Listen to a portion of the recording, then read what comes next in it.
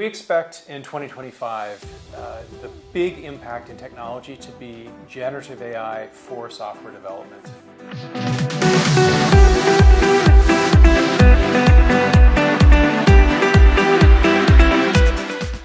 We're seeing real opportunity for big uh, software development teams at our clients to not only be more productive with generative AI, but to have higher quality code and actually to have a better work environment and a better experience. So at BCG we call this generative engineering and um, it basically comes in two parts.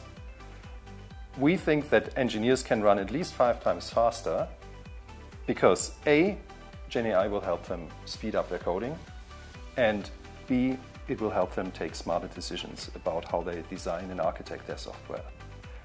Now, the acceleration part is what most people are talking about, but not everyone is mastering it because it's more than just using a tool and giving it to all engineers.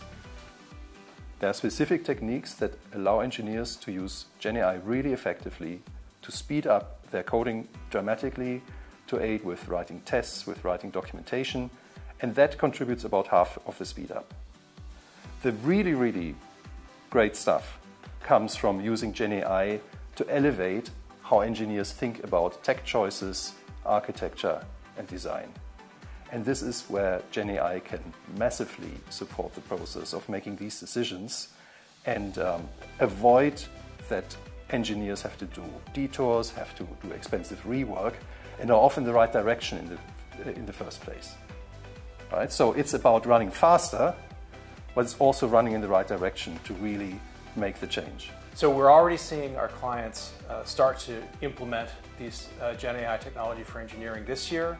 We expect that next year this will be a real ramp up.